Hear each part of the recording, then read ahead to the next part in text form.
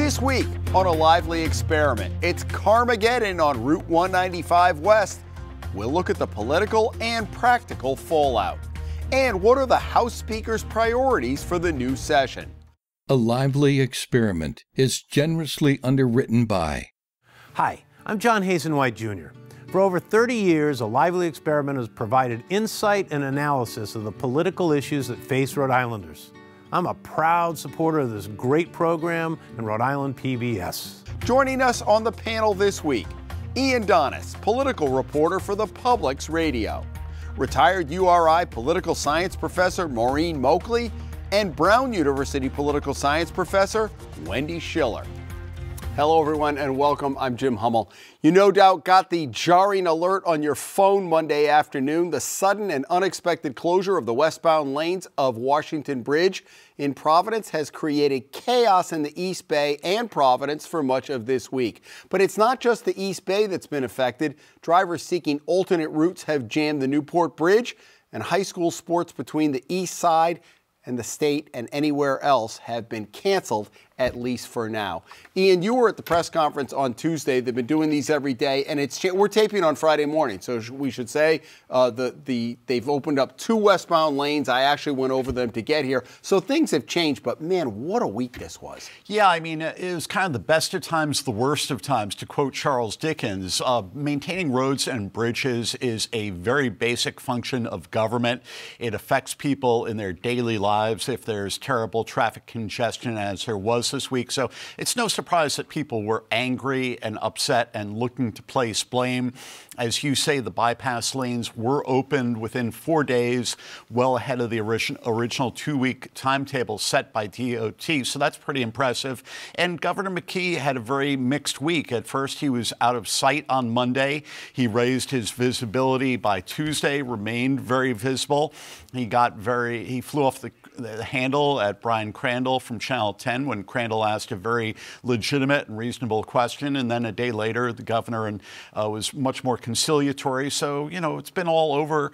But, you know, I think if traffic flows more smoothly, now that the bypass lanes have been open, the worst of it appears to be over. And that's to be determined. How were things in Providence? Was there a lot of backup near you? Well, there was, I mean, there were a lot of police officers trying to help direct flow of traffic. There are two main streets uh, one's called Gano, Gano Tabor, and one's Angell. And things were slow but moving. Um, they were flowing, and they re uh, they retimed the traffic lights so that Angell Street kept moving. So if you were trying to go across these streets, it took a little longer. But generally speaking, it was flowing. It wasn't like a dead stop. What about the governor's response? Well, I mean, I think I think the sort of you know the governor has to decide. Uh, does he want to be someone who's perceived as really, you know, 24/7, really working on this job, working hard, you know, not just sort of uh, opening things or being there um, in, in ways that are considered superficial, uh, but really monitoring what his agencies are doing and really being on top of things and asking for reports. And he was a mayor. I mean, I think he has an interest in these really nuts and bolts or concrete things but he doesn't show that. I don't think that's really what people perceive him as. And now I think he's going to have to shift gears if he really does fully intend to run for re-election. It's two years away, three years away, but still. And he has to recognize that reporters have an obligation to report on the functions of state government. I mean, Jim, you and I have both been around for a long time. We've covered a lot of governors. I think the governor does have a tendency to be testy when asked tough questions. This has happened with me. It happened with Ed Fitzpatrick from the Globe. And, uh, you know, but he did course correct by Thursday and strike a more conciliatory tone. Yeah, I think he did course correct. But I do agree in the beginning he was not there and he was in town.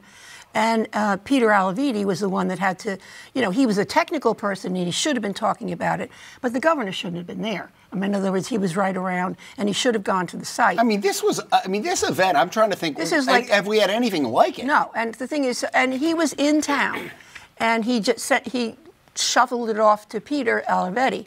But then he sort of came back at the end. But I agree with Wendy. He's going to have to change his persona, his leadership perspective because he goes to all these like a ribbon cutting and all those things, these sweet things. But tough stuff, he seems to shy away. He doesn't show, he hasn't been showing this year some strong leadership.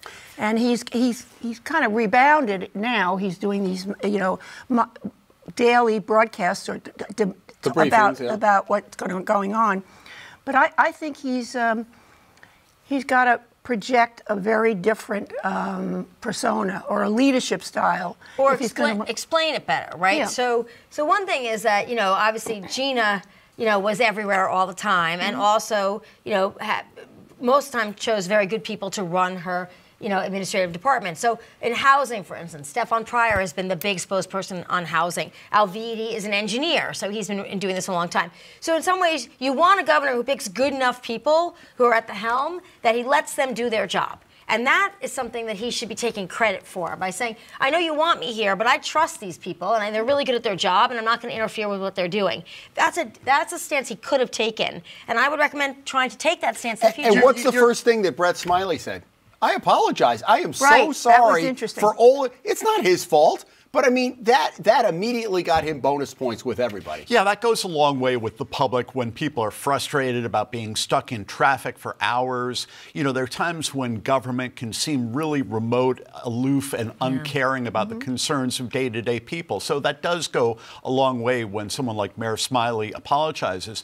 I think Wendy's point is well taken that, you know, uh, governors, mayors do have responsibility to delegate uh, part of the functions of government. But at the same time, during a major crisis, and this was certainly a major crisis, the governor is the leader of the state, and he or she, whoever it is, needs to be front and center. And, and kudos, a quick kudo just to the Providence Police Department because it was really cold yesterday, uh, and they were standing outside for the most part, trying to direct traffic, getting pedestrians safely across crossings. They were all over the place, and it was a cold day. And that's one thing you want to credit the police commissioner and the mayor of Providence for doing is really being on top of that uh, very quickly. The one thing I will say is, and, and Ian, we've gone to enough of these things. They do the live, especially during COVID. They were doing the briefings and breaking in.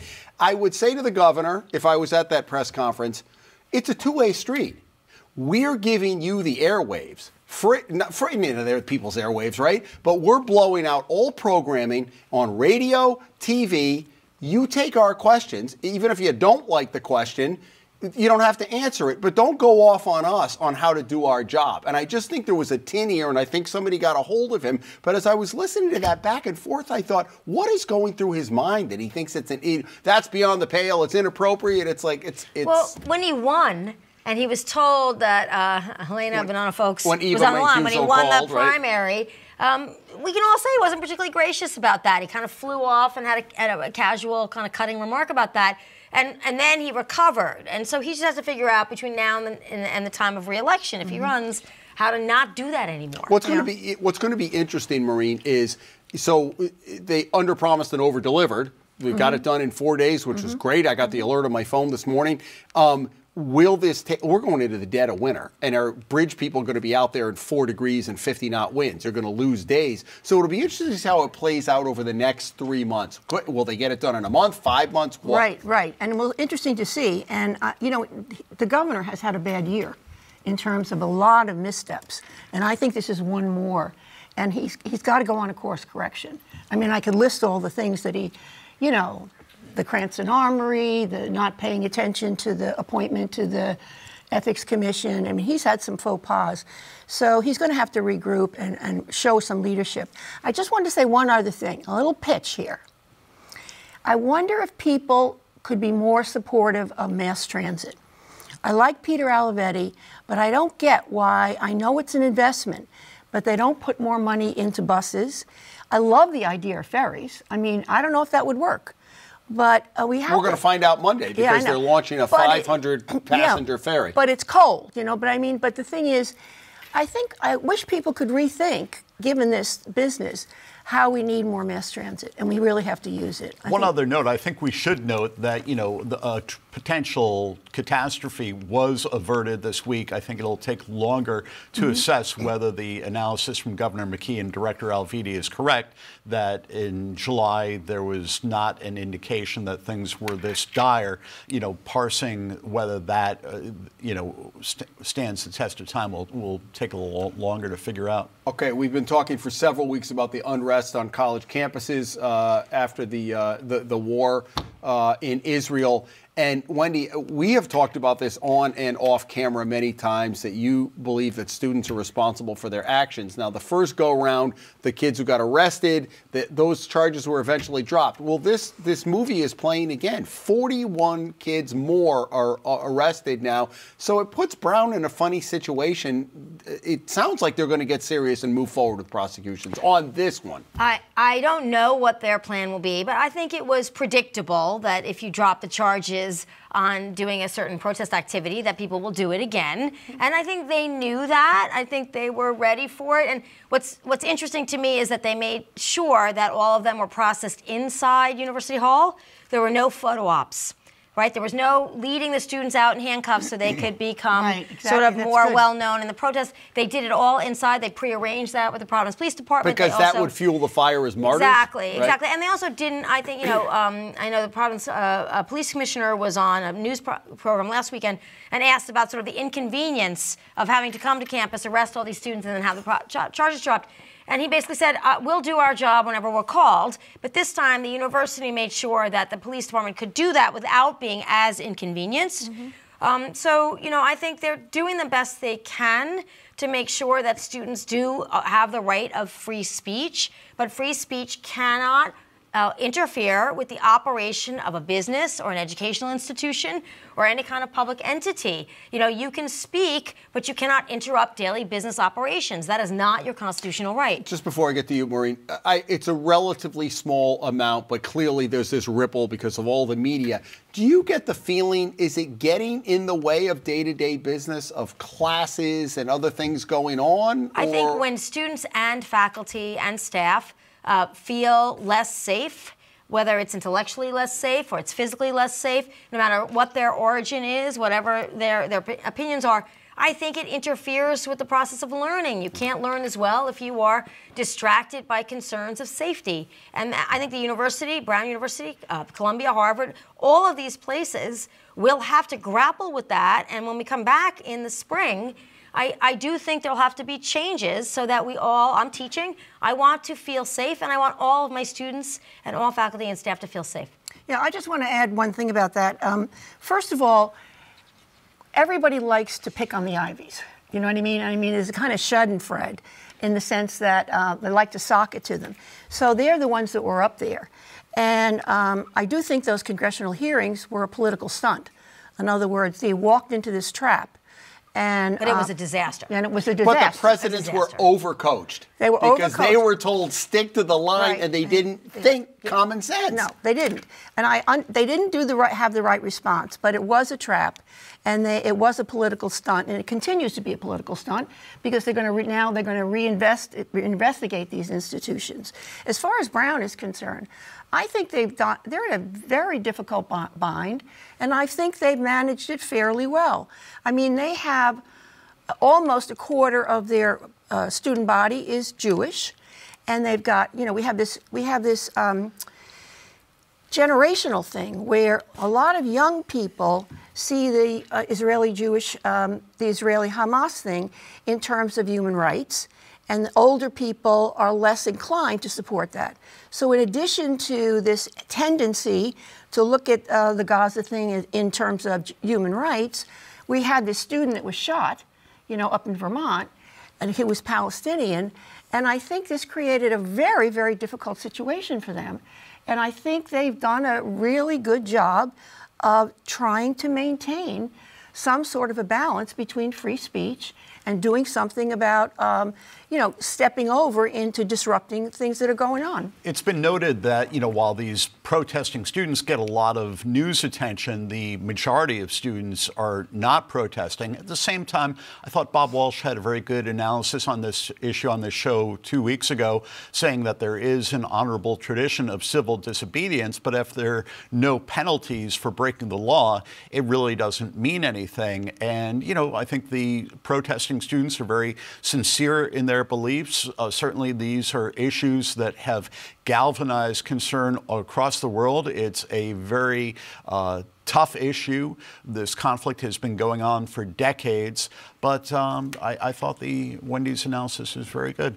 I thought that's why I asked you day to day because it's not like a protest is breaking out in front of your class, but it's on Well, it could- everybody's. it could. No, no, but I'm saying for the vast majority of people, it could. But if, if that's on your mind, and particularly if you're a Jewish, and we've heard this from the Jewish students who don't feel safe on campus, which is that whole we we joke around that uh, some of the this generation's a little soft and we need safe spaces. Mm-hmm. But there's something to be said for that. College campuses relatively are, well, this is a place we can discuss and we can, at the end of the day, we can go out and have a beer together. It, it doesn't feel like that anymore. No, I mean, For some people. No, I mean, I, I think that's right. And there are two different issues. One is does Brown divest from any company doing business, not only with Israel, but with any company that does business with Israel? So that's a very complicated thing to do in a world that's so globalized. I protested against South Africa sanctions when I was in college in the 80s and said we should divest from my university. But in those days, it was a little easier. It wasn't as mm-hmm. global an economy. It's a very difficult thing to accomplish. So then the second thing And is, there wasn't course, social media. Right, and then of course the thing is calling for a ceasefire. I think everybody wants the violence to end against all parties in the Middle East, right? In, in Israel, Gaza, and Palestine. I mean, it just we want it to end. Um, but can the university make that happen? No. And so universities have to ask themselves: Do we want to be in the business of making statements on international conflicts? Because you can't really affect that international conflict. So you're making a statement, and where does that statement go? places like, I believe, Yale and I believe the University of Chicago have not made any statements and said that's not our mission. And so I think this is a reckoning that's a broader conversation for universities. What did you make of Penn's uh, president resigned, Harvard's kept her job? Well, I mean, um, I don't understand. Penn went very fast, and I, I, I understand it's up to the board. And I think for some reason or other, 100 Yeah, had $100 million, $100 that's million dollars, yeah. And that's unfortunate, you know what I mean? But $100 million is a lot of money. But I'm happy that Harvard stuck, you know, stuck to supporting Gay, and I'm happy that, um, that, that they, you know, they acknowledged that there were problems, but they weren't going to back down. And here, the faculty and the, the faculty and students, a lot of people supported her and wrote letters about it. And I think I think it's she should stay. I don't think they should be bullied into firing these people. All right, All right to be continued. Um, House Speaker Joe Shekarchi did the media rounds uh, the last couple of weeks talking about his priority. We're going to have our special legislative show right after the first of the year. We'll hear from um, the House and Senate minority and majority leaders. But Ian, you sat down also with Speaker Shekarchi, and it was interesting. Well, you give me your analysis, and then I'll react to what you say. Well, I think two of the major issues are housing and the economy. Um, Shekarchi made the point that the package of housing bills passed by the General Assembly this year, most of them, the bills become effective January 1st, 2024. So he's, you know, saying if people are complaining about a lack of progress on the housing issue, stay tuned. At the same time, it's obviously a long-term issue that's going to take many years to improve, if at all. And on the budget, we know we're coming into a tougher climate. The General Assembly's kind of been living in fantasy land for a number of years, thanks to the spigot or the gusher, rather, of federal COVID aid. That's drawing to a close, and there's a more austere budget environment coming. So Shekarchi is kind of damping down expectations about the state's ability to fund as much things have been funded in recent. But that recent years. recession everybody was talking about, it's like it's coming, it's coming, it's coming. Maybe it's not coming. Yeah, no. No, I think the focus, particularly on, on your work already on this, uh, on the legislative agenda, is that um, it- we don't need a recession for that. We had a lot of extra money from the federal government that is, is either spent or going to dry up. So then you still have those same pressures, particularly on social service programs, which are federal pass-throughs, but still, you still have a budget problem when you've been flush with money. Um, and so I think that's the issue. For me, the, the big question is, can the legislature get the assault weapon ban passed this time around. And I hope that you ask uh, Senate President Ruggerio about that, um, and we'll see what Don't can hold your happen. breath. Right. Right. So, I, but I, I do think that there are bigger concerns given what happened in Maine, and just thinking about personal safety. Because for the next year, things are going to get rough politically, and I think things are going to ratchet up. And I think people want to feel as safe as possible. So I wonder if more momentum builds, not necessarily for a ban, but maybe just additional limits on using those kinds of weapons. And the president actually has started this process where he's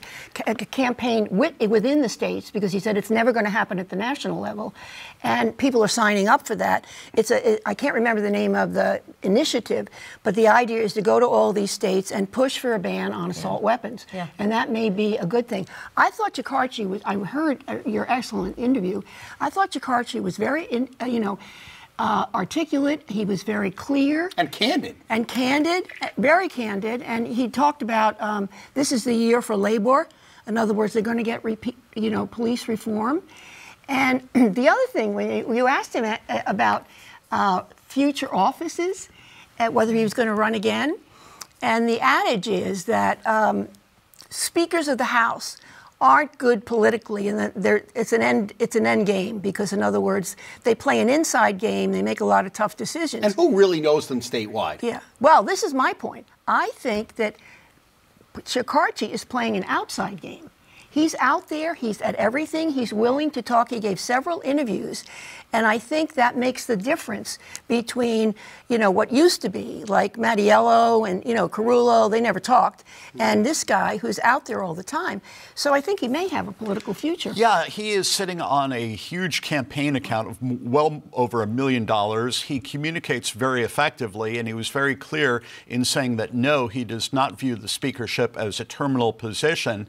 Uh, so he is certainly worth keeping an eye on. And I think the final chapter in Joe Shekarchi's political career is uh, far from being written. You know, we've all we've talked about the budget every year. So five years ago, it was 9.4 billion. I know the COVID money inflated a lot of that. We're up to 14 billion, and it was one of the uh, debates that you moderated with Ashley Kalus and Dan McKee. And somebody said, you know, when all this ARPA money drives up, wh- what's ultimately the budget going to settle in at? Because they have to, it all has to pass through. and the bu- the governor said 11 and a half billion dollars. Well, the budget last year came out at 14. So does it go back at some point? Does it have to go back? I think it will have to decline in the total spend uh, just because of the presence of less money. That would uh, not be the trend that has been set over many years, as we know, where the overall budget, including which includes federal dollars, has risen steadily. But I think I think it's almost inevitable that the overall total would go down. But I don't know how much. You know, I don't I think guess we'll find out back. when they Yeah. Release it, and it, it may be next year that it's when it really falls out. Okay, one more thing I want to get to before outrageous and kudos. Um, it broke after we taped last week. Uh, Peter Neronha, the AG, has had this public spat with uh, Judge Daniel Procaccini over some tweets that he did. You, you all know the story by now. Maureen, at first blushed. The AG and the judge. We normally don't see these things spill out into no, the public. No, actually, you know, it's interesting. I think very highly of Peter Neronha. I think he's done a great job. He's gotten into some of these civil things, uh, you know, the Block Island settlement, and a lot of the Opioids, hospitals. yep. He's doing a lot of really, really good things, and I admire him. However, I think that tweet was way out of line. He impugned the integrity of the court, and Procaccini is a straight up guy. He's very respected. And he, he implied that he, Procaccini, people judge shop for him because, Because he's soft. That he's soft, and he's not. Mm-hmm. And the other thing is, they talked about he's the guy that does all the bench trials. Well, he does jury trials and bench trials. And it was really insulting to his in, integrity. It's hard to put things in context in 280 characters, isn't it, Wendy? Yeah, I mean, I mean, I, I, I'm not as prolific as Ian on Twitter, but yeah, but then I think about the parallels to what um, the Democratic Party is doing in terms of Pre- President Trump and gag orders against what he can say against prosecutors and judges, and I think we have to have consistency at all levels of government and say, you know, judges are independent and um, uh, um, impartial, and we trust that system. Doesn't always work out exactly as it should, but it was disconcerting, especially using Twitter as that venue. And I think he's done a lot. And the more he puts himself in the public eye these days for Neronha, the less good press he's getting. Yeah. So I'm thinking he's got to switch tactics if he really is serious about challenging McKee for, for the governorship. This has been an unusual fight, and Neronha has been conspicuous in his use of Twitter or X this year. Interestingly, he's avoided appearing in a courtroom to answer Procaccini's uh, anger on this issue, uh, the optics of which might not help the future political fortunes of Neronha, although the judge was very eviscerating in his comments last week, and now the whole issue has been kicked to the, uh, the disciplinary panel for the state Supreme Court. And, and he kind of doubled down. Yeah. He said, I have a First Amendment right. I'm fighting for you. It's almost like, you know, I'm the victim here. It just, it was kind of had a weird you know, feel I think his it. motor is running a little fast. I think because maybe he's out there and he's thinking about running, but he does such a great job. I mean, he, he's done a wonderful job as attorney Although he general. got pretty bad press most recently in the Projo about turnover uh, in the in office, this, in the office, yeah. right? But people, you know, Amy Klobuchar got derailed because there was a bad article about her staffing. I mean, yeah. this stuff can derail you. So either figure out your PR operation mm-hmm. um, or go back to basics, one or the other, and then look around the landscape and see. Two years is a long time. All right, let's go to outrages and or kudos, Mr. Donnis. Let's begin with you this week. I don't think it's a secret that finding a primary care physician in Rhode Island or even Massachusetts has gotten harder and harder. My colleague Lynn Arditi recently recently reported on a study showing that if things are not changed, that by 2030, 200,000 Rhode Islanders could lack access to a primary care physician. That's not a good situation, and this is one of the serious health challenges that we as a state face. So, and that's what the legislature is going to have to look at because of the reimbursement rates. That's mm-hmm. been a complaint for many years. Maureen, what do you have? Mine is sort of national. I, I'm trying to be nonpartisan, but I think this current move to impeach Joe Biden is really off the rails. It's such a distraction in terms of all the things that we have to deal with.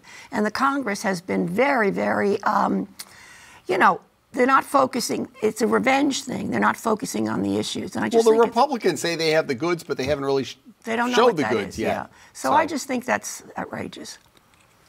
I'm going to go back to the kudo I mentioned earlier. I, I, think that the Providence police force and the police chief responded really well to a very difficult situation, particularly on the east side. But in general, this new police chief, um, uh, Perez, I, Perez uh, he took over for somebody who was well established, who was very popular, very good in the media. That's a, those are a lot of big shoes to fill. Um, he's the first Latino, uh, I believe, police chief of uh, Providence, and he has been very steady state and really engaged with the community and really working hard on police constituent relations. And I think we have to recognize that because we all want th- that situation to improve. And that's stuff that doesn't meet, you know, the house breaks and the crazy stuff that makes the media, but there's a lot of work that goes on in the neighborhoods and what you had said, the community, and it seems like he's doing a lot of that stuff. And that really doesn't make the headlines. It doesn't make the headlines, and also on guns, right? He's, as you know, Clements was good on guns. He's really working on that. And community policing and trying to engage with people allows you to do holistic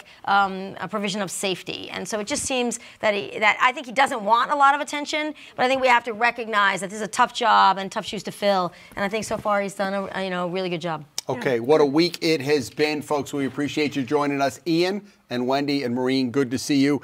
And a special programming note. You know it's that time of year. There's this very panel We'll be back next week as we look at our year in review, the highs and the lows, the only in Rhode Island moments, and we'll re roll the tape and see their predictions for this year. We'll see how accurate they were. If you don't catch us Friday at 7 or Sunday at noon, we are all over social media. We also archive all of our shows at ripbs.org slash lively, Facebook, Twitter, and if you uh, if you like podcasts, wherever you get your favorite podcast, we are on it. We hope you have a great weekend. Again, join us back here next week with our year ender as a lively experiment continues. Have a great weekend.